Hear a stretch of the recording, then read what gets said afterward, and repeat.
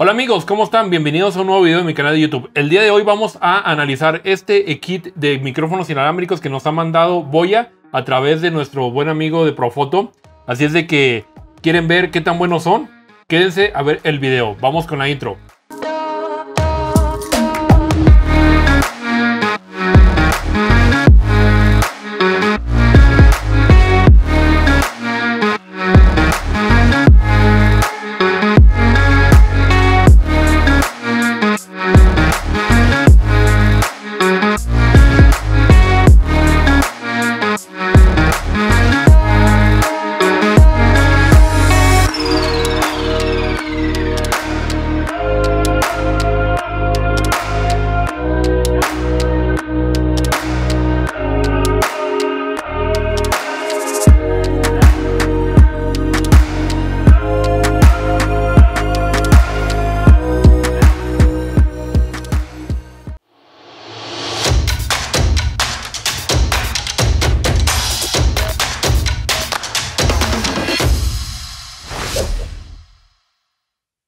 Bien, pues como les dije, aquí estamos con este kit de micrófonos de la marca Boya. Es un kit de micrófonos inalámbricos. El modelo que nos ha mandado es el BYWM8 Pro K2. Eh, la distinción K2 al final significa que este es un kit que viene con un receptor y con dos transmisores. Cada transmisor trae además su cápsula de micrófono lavalier para que nosotros lo podamos poner en la solapa. Lo primero que tenemos que hacer es sacarlo de la caja y empezar a ver qué es lo que tiene.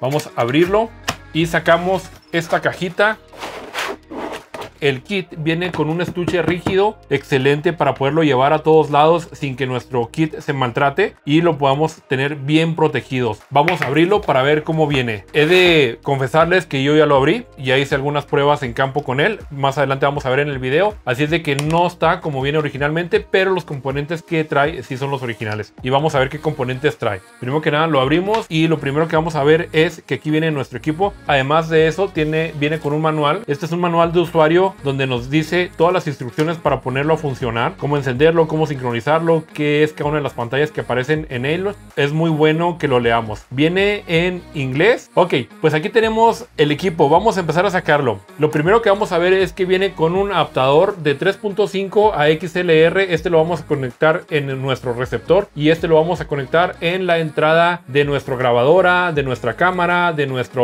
consola de, de audio, lo que ustedes tengan que sea con entrada XLR lo vamos a poder utilizar.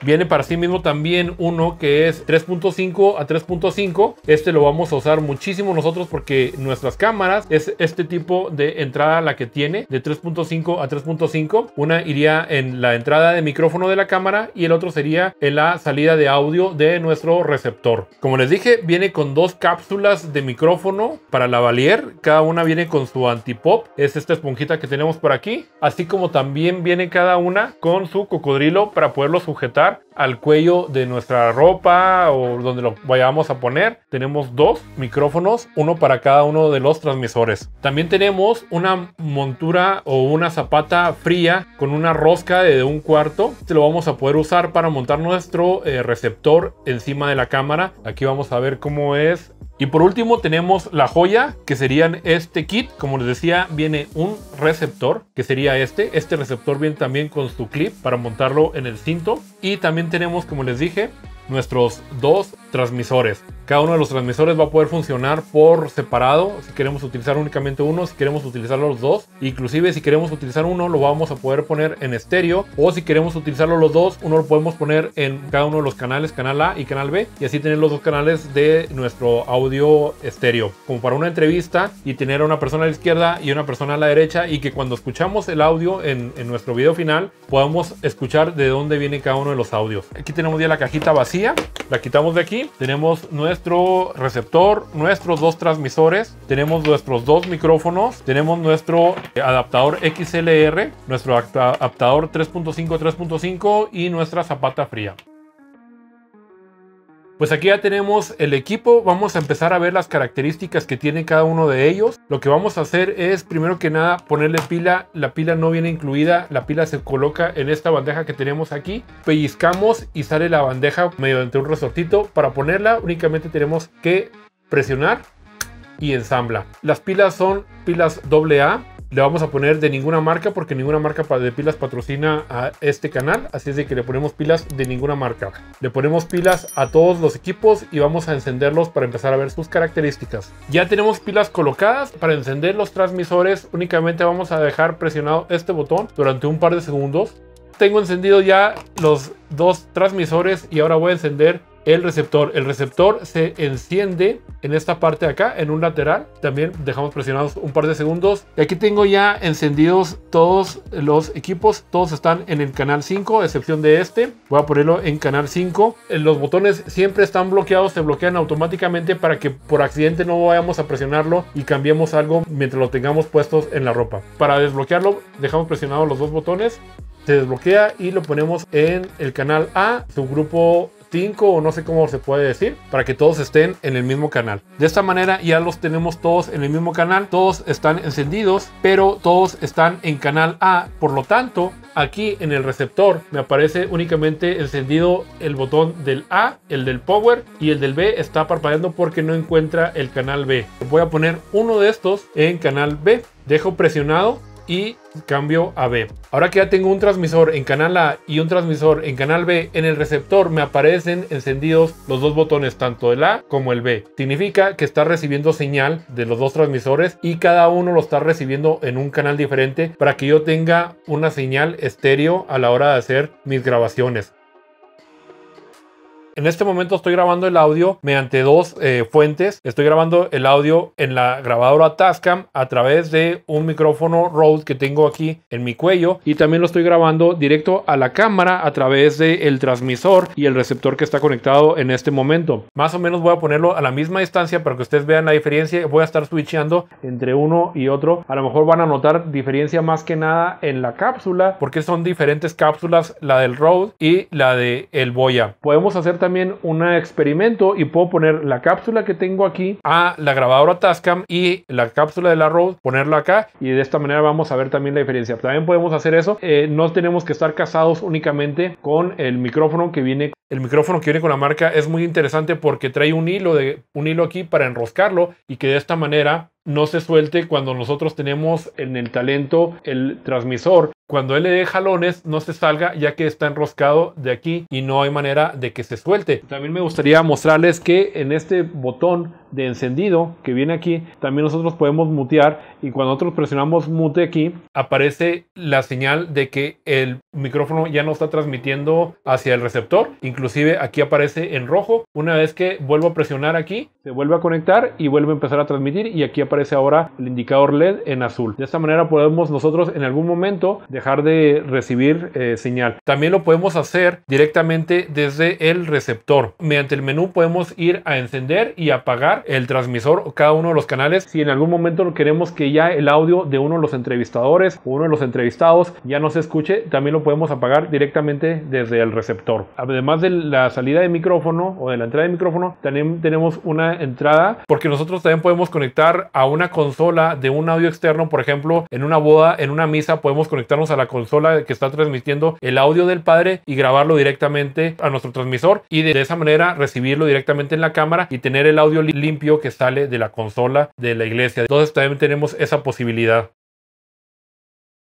Bien amigos, pues ahora lo que toca es hacer una prueba en exterior, así es de que vamos a ir afuera y vamos a ver a qué tanta distancia podemos recibir la señal del transmisor mientras nos alejamos de la cámara para alguna entrevista a distancia o cosas por el estilo o cuando tengamos, que hacer alguna cobertura extraña para algún reportaje o lo que sea. Así es de que quédense y vamos a ver esa prueba en distancia.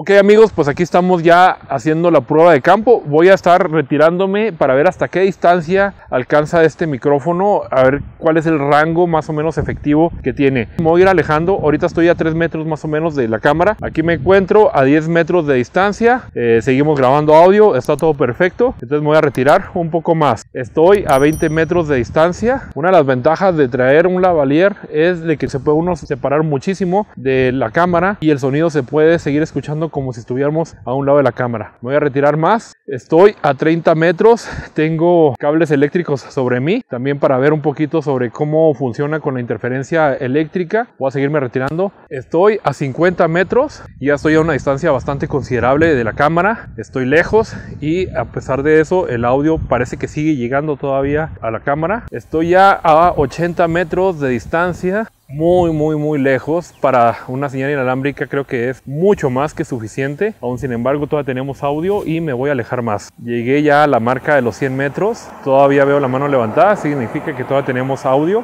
Me voy a seguir alejando.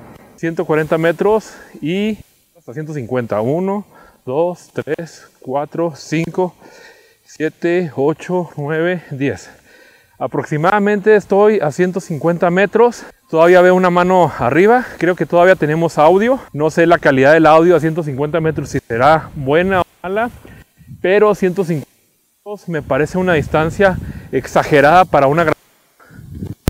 Entonces creo que es una buena aprobación. Ya voy a acercarme otra vez a la grabación y con esto por concluida la prueba de distancia.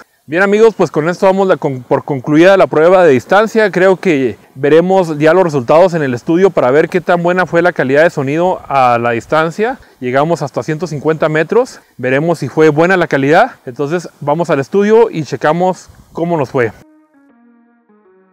Bien, ya estamos de regreso. Recuerden que en la cámara tengo el receptor y aquí estoy transmitiendo mediante el otro transmisor que tengo acá en la parte de abajo directamente hacia cámara. Y recuerden que trae su clip en la parte de atrás para ponerlo directamente en el cinto, en la blusa, en la falda y como tiene botón, los botones bloqueados no hay peligro de que por accidente accionemos o dejemos de grabar el audio. Además de que podemos estar monitoreando ya que el receptor tiene salida de audífonos y podemos conectar unos audífonos y seguir monitoreando el audio para en cualquier momento que tengamos algún percance estar seguros de que el audio se está grabando bien o si deja de grabar poder resolverlo en el momento. Hasta aquí este video, eh, espero que les haya gustado, fue un video sencillo pero quería darles más que nada a conocer este equipo que me ha parecido muy bueno a pesar de que es un equipo bastante bastante económico en comparación con otras marcas como como Sennheiser como Rode etcétera etcétera. Es un equipo bastante económico en comparación pero es un equipo que puede funcionarnos que nos puede dar muy buenos resultados. Además es un equipo que tenemos al alcance de la mano y podemos utilizarlo. Así es de que hay que tenerlo en consideración. Si les interesa comprar este artículo pueden ustedes ir directamente a la página de Profoto. Además pueden utilizar mi código de descuento que es Alex Mendoza, todo mayúsculas, pegado, sin espacios y además de eso van a poder obtener un descuento. Si no son de México, ya próximamente Profoto está viendo la manera de enviar al extranjero, pero si todavía no se puede, también les dejo los enlaces para que lo adquieran directamente en la página de Boya o mediante Amazon. Aquí en la caja de descripción del video pueden ver ustedes toda esa información. Pues sin más me despido, pero antes quiero recordarles que si no se han suscrito al canal, por favor se suscriban. Si ustedes quieren apoyar de alguna manera el canal mediante un pequeño aporte económico, lo pueden hacer mediante el botón de unirse y de esta manera van a poder patrocinar un pedacito de los videos que estamos haciendo así. Además, si ustedes se suscriben y le dan like al video, van a fomentar que el video crezca y que otras marcas pongan los ojos en el canal y nos manden sus equipos para que podamos ser revisados de los productos y ustedes vean de manera objetiva si el equipo que estoy revisando es bueno para ustedes o no, si les funciona o no les funciona, ya que la intención del canal no es echarle porras a cada uno de los equipos, sino darles una reseña objetiva de lo que es cada uno con sus pros y con sus contras. Entonces, por favor, denle like, suscríbanse, únanse y recuerden que para hacer mejores fotografías siempre tienen que disparar su cámara. Así que, por favor, no dejen su disparar su cámara. Practiquen, practiquen y practiquen. Nos estamos viendo en el siguiente video. Hasta la próxima. Bye bye. Soy Alex Mendoza y soy Profoto.